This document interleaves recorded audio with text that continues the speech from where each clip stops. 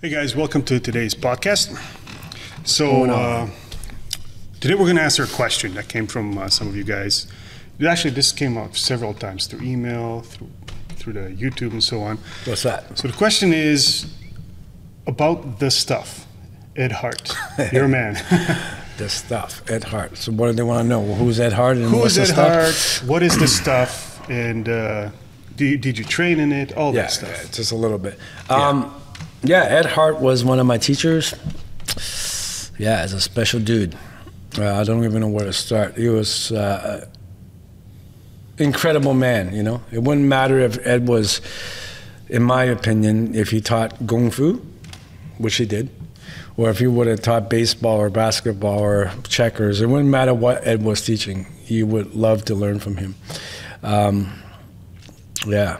Well, some background before I circle back to that. Ed Hart, who was he? He was a second student of Bruce Lee, but he was special long before that. You know, I guess we'll talk about it from a martial art point of view, and then maybe we'll see where it goes, right? From a martial art point of view, um,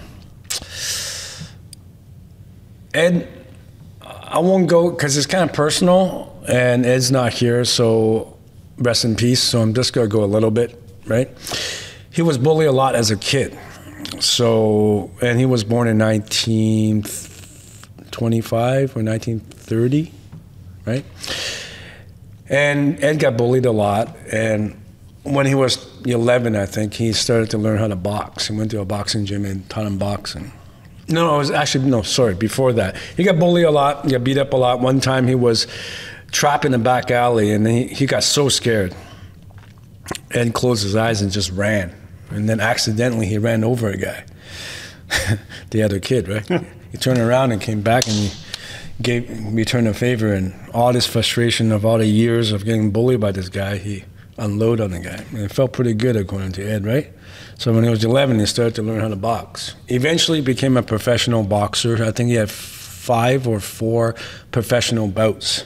He won them all within the first round, but he quit because of the migraine headache he was getting from getting punched in the head, right?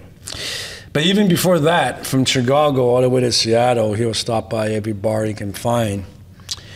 And he was like Batman. He'll, he'll find a tough guy, douchebag, bully profile type of guy. And every bar has one or two of those guys. And this is in the 1940s, I guess, or 50s. And then uh, Ed would just, you know, knock them all out. He was a knockout artist, right? Fights were within three seconds. This is not a good thing I'm talking about. I'm just stating where the background he came from. So he had displacement. When you have trauma of getting bullied, automatically you a lot a lot of people that get bullied, they get um, really pissed off at bullies, right? So Ed was going around taking revenge, and he was just cleaning up hundreds of altercations, never lost. He never lost. And then uh, when he get, became an older guy, he kind of calmed down a bit and he stopped fighting, right? And he never talked about his fights, not once, because he was ashamed of it. Because, again, that was in a revenge mode, right? The only reason why we know about it is because Jesse won't stop talking about it. yeah, Jesse was his best friend for you. Um, so in 1959, Jesse started to train with Bruce Lee, and Jesse was Bruce Lee's first student. And Jesse was a 14 time Northwest judo champion before he met Bruce, so he's not an average guy, he's incredible. And then after uh, he was learning from Bruce for two months, he asked Bruce as a favor, Can you please teach my friend Ed Hart? And Bruce is like, I don't know about that. Because at that time, Bruce was not teaching. He was a dish, dishwasher at Ruby Chow's, and he was only training people so he can have someone to train with, right? And but because he liked Jesse a sure bring him around. And Ed used to tell this story. He met Bruce, and Ed was like over six feet tall, over 200 pounds, professional fighter at one point, hundreds of altercation on the street. The guy was really strong, well experienced, well trained, a lot of fighting experience. And here comes this little Chinese guy who was, what, five foot something, 129, 30 pounds at the time, Bruce. Glasses on, really good looking kid. And Ed's like, I can't hit this guy. That's what he's thinking, right? Well, never make too much assumption because Bruce is like, all right, do whatever you want. Not, not this de- martial art demonstration you see all the time where everything's scripted. Like, oh, hit me with your left hand. No, hit me with your right hand. And also contextually, not like, oh, let's spar or let's do flow drills or let's do chi sao. No, nothing like that. Like realistically, do whatever you want. It's like if I hit people, they don't get back up. So I don't want to do this, right? And Bruce just smiled, had his hands down. So that threw Ed off. Ed had his hands up, and, and Bruce like do whatever you want. And he's looking over at Jesse, and Jesse's smirking. He's like, do whatever you want. So Ed said he went for a move. He got about this far, and he, he said he found himself trapped, and Bruce had a phoenix eye fist on his throat. And being the way Bruce is, he's like, whoa, I have a phoenix with one eye. Ed walks around the living room. He's, he's grabbing his head. He's like, well, one, he never lost a fight. Two, not in that way. At least it'll last a few seconds, he was thinking, right? So he's walking around the room, just couldn't believe it. And he always had his hands like that when, it, when he gets emotional, right? And then uh, Jesse's on the floor laughing. And then Bruce goes, Would you like to try it again? And this time he got even cockier. He put his hands behind his back. It's like, because I wasn't, you know, I must have telegraphed something, so let me try this again. And Bruce was like, All right. Put his hands behind his back. And then Ed went for it again. Same thing happened. And Bruce did the exact same dick move. He's like, Oh, like, now Ed goes crazy, right? And then after he calms down, he's like, Hey, can you teach me? And Bruce was like, Yeah. And that's how they got started. But because he was such a great fighter with hundreds of victories, and plus he was feeling guilty for his past of fighting so much, he really didn't train much with Bruce, right? I mean, he came around and then Bruce showed him stuff, but and he couldn't really fuse it into his stuff because his body was already moving a certain manner with certain experience. But and he did all the homework for Bruce, by the way, in the University of Washington or, or in high school when Bruce was in the tech school in Seattle. You know, nowadays when people look at Bruce Lee magazines or uh, Bruce Lee books and they look at some of the essays that Bruce wrote in Seattle, they was written by Ed. Oh, yeah, Ed, Ed had a degree in English literature, right? So, so he was coaching Bruce in English because English was Bruce's second language. He had a background in English, but it wasn't really well developed, right? right, right. Um, so yeah, so the three of them would hang out a lot, Jesse, Bruce, and, and, and Ed, and then they were training. But again, Ed wasn't training that much at the time. Did he pick up like anything from Bruce? Oh, I'm sure he did, but he, uh, he wasn't that serious about training, Oh. unlike Jesse, right? But not only did he had a lot of fighting experience, not only was he a professional boxer, not only did he had hundreds of altercation, not only was he a big guy and really strong, this guy also had a lot of courage, more than Bruce. One time they were in a pool hall in Seattle and they were playing pool with Jesse and uh, Bruce. And uh, this crazy guy came in and he started throwing pool balls around, which can kill people, right? Yeah. So he was dropping guys left and right, whipping pool balls around. This guy was a little bit. He's looking around. He's like, oh, where the hell is Bruce and Jesse, right? And they were hiding under the table. Bruce Lee was hiding under the table, right? Ed walks up to the guy. Balls are flying left and right. He goes, Didn't your mother ever tell you not to whip pool balls? And I slap the guy, grab the ball, and goes, Get out of here. That's the type of guy he was. right? And the guy, that guy that was crazy was in shock. Like, he just walked out, right? He reminds me of uh, Kurt Russell's character in Tombstone, right? So it's not about revenge, it's the reckoning. That's how, because he suffers so much injustice in his life, he was all about the reckoning, right? So that's an example of how, you know, in Chinese we say be like sam kung fu. That means first is physical attribute, second is courage. Kung fu and skills last. Doesn't matter how much skill you have, it's how much courage you have. And Bruce was under the table while Bru- Ed was walking up to the guy unfazed, right? Because he was so damn angry, right? So this is the type of guy he was, and um, there's more stories than that. But I, I want to stop here because again, this gets kind of personal. But just to give you a little bit of a profile, I mean, sure, there's martial artists everywhere, regardless of style, even back in the day. But how many guys have that much world experience, and how many guys got that kind of heart, that kind of courage? So when Ed taught something, it wasn't like, "Hey, man, you know exactly what context he's talking about, and you can completely trust this guy." It's none of it is theory. None of it is sparring. None of it is flow drills. None of it is just chi sao. Like this guy has done it to people for real. And that gave his student a lot of confidence and a lot of calmness that you can go, all right, I can trust this man, right? So, but there was some personal problems later in his life, and he got a, he fell asleep and his cigarette dropped and it burned his apartment down. Right? Jesse kicked the door open, saved Ed, and he was in an ambulance, and they pronounced Ed die. He died for two minutes, right? In a flatline. When he came back, he wanted to change his life, and he's like, "Hey, man." I got to do something to give back to help people. I can't keep living like this. I want to teach. But the stuff that I developed with my boxing and street fighting cannot be taught. I mean, you can lace that on top of it. So I want to get good at martial arts so I can teach it. But unfortunately, when Bruce was around, I didn't train that much, right? So he asked Jesse, he's like, hey, can you teach me? And then Jesse's like, yeah. And then he really taught uh, Ed privately, and Ed get really good because he had a huge, extensive background, right? And then he ended up teaching his stuff. And he called it his stuff. And I, hey, Ed, why don't you call it something, right? And he said, well, I'm not planning to sell it. The stuff doesn't need a name. And that, that was the first lesson, right? It was like, no, everyone fuss over definitions, names, borders, a fixated way of doing things. But people like that usually have never been in a survival mode. Because if you are in a survival mode, you don't care what country it comes from, you don't care what it is called. You don't care about lineage. You don't care about teachers. You don't care about brand names. You don't care about headbands. You don't care about uniforms. Does it work or not? Can That's you all walk you, away? Yeah. Can I walk away and protect my family? So Ed, know, when you say just call it whatever you want, I just call it the stuff. I was like, hey man, this guy, I love this guy, right? You know, a lot of people are going to wonder what is the stuff.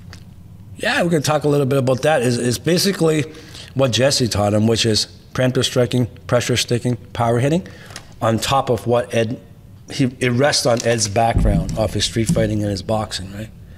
Like, this guy can punch with any angle with neither hand, with extreme short power. Like in five inches, it will knock you out.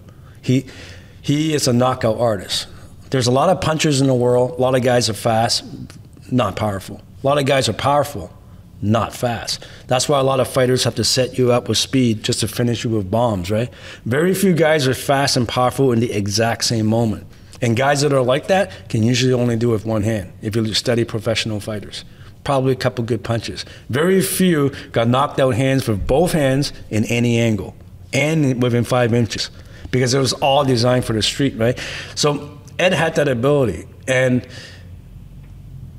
from Man, training or from fighting? I think both. And when he did the kung fu, he rested on top of that, right?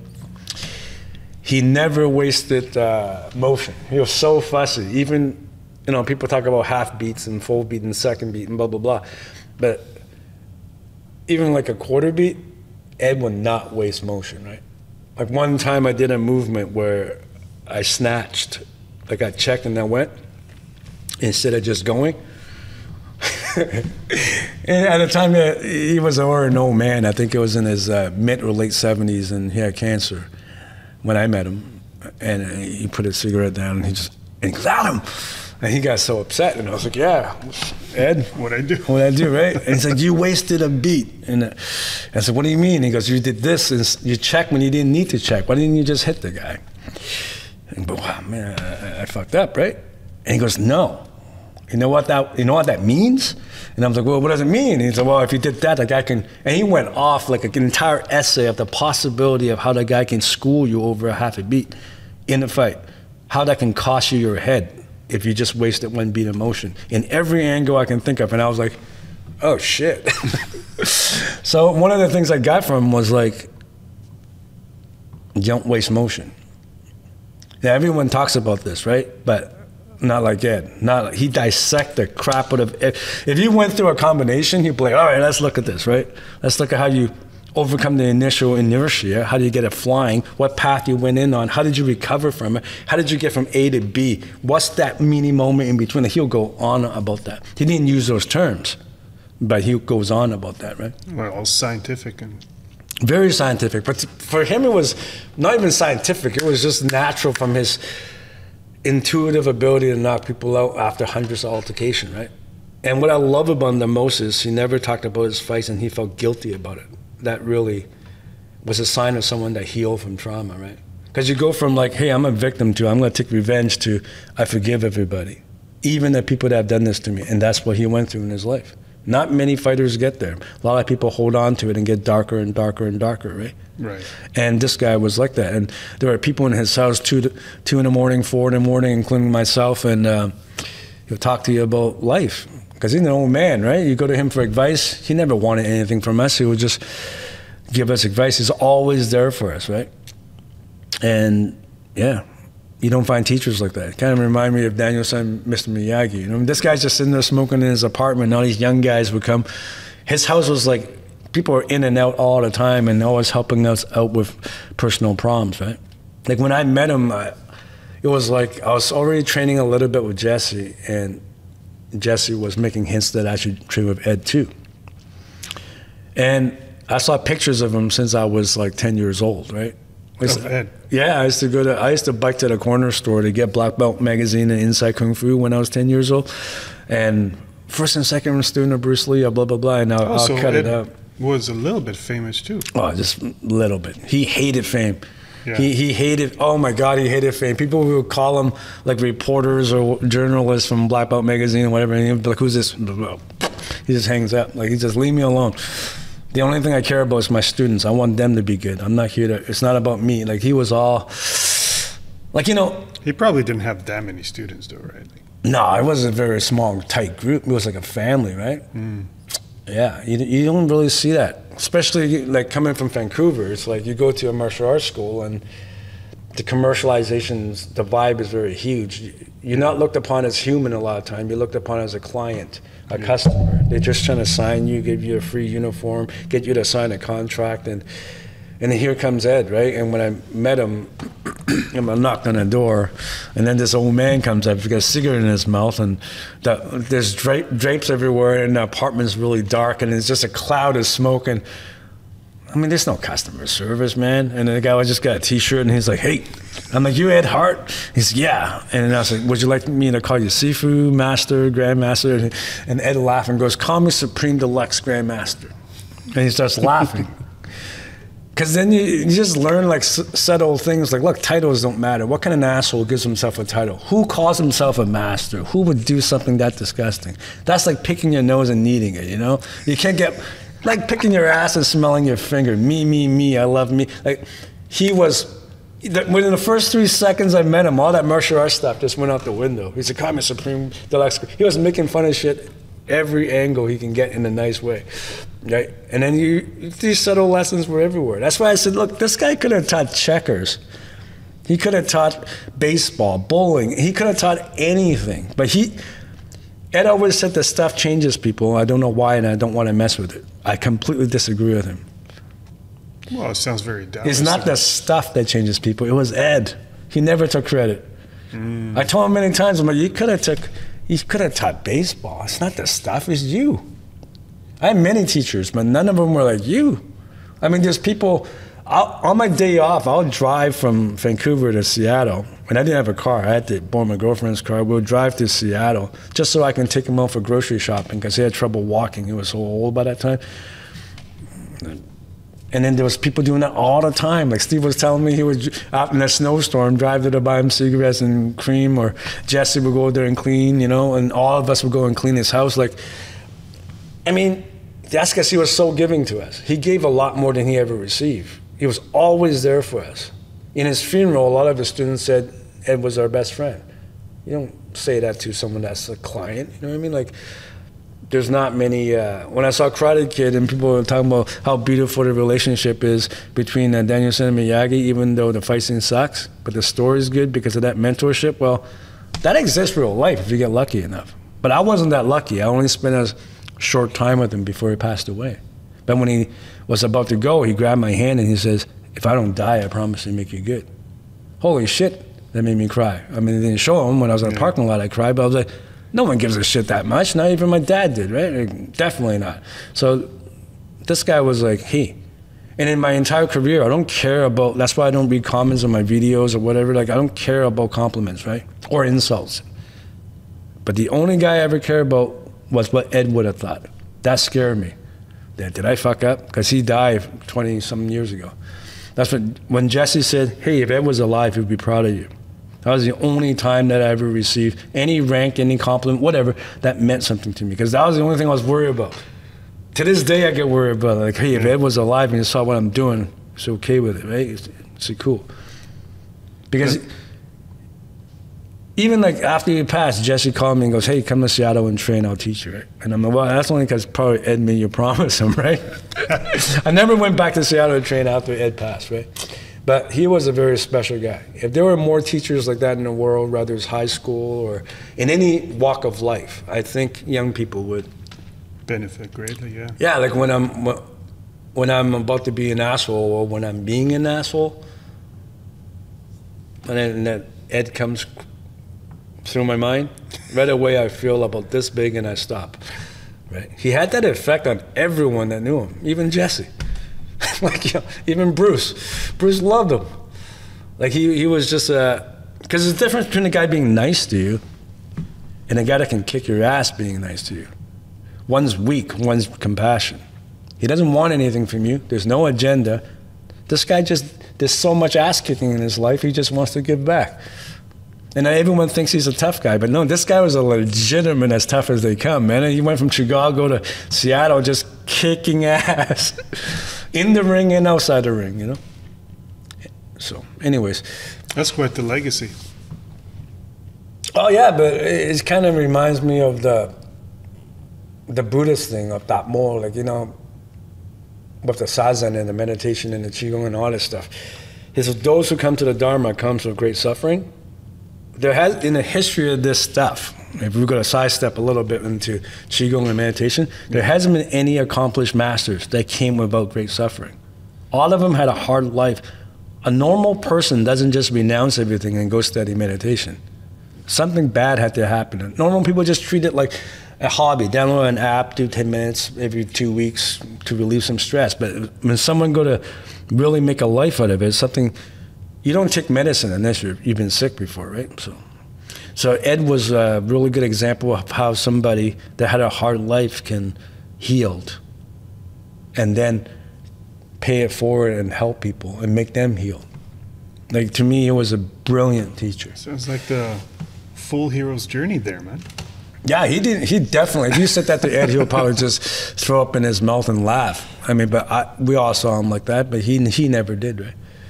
And, and the funny thing is, when he got old, no matter where we were, he was spending a lot of effort avoiding tough guys. Mm-hmm. I remember that there was a time he would go out of his way to look for tough guys so he could knock them out. Right? And when as an old man, he felt so enormously guilty about that. And he was always giving us shit if we have any bit of spikes in our mood where he said, hey, calm down, don't hurt people. Like he was really, yeah. I love the guy, man. Any other questions? That's it for now, man. Thanks for that. No, thank you. Bring him up. Uh, yeah, it's nice to think about him. Yeah. All right. See you guys. Next time, guys.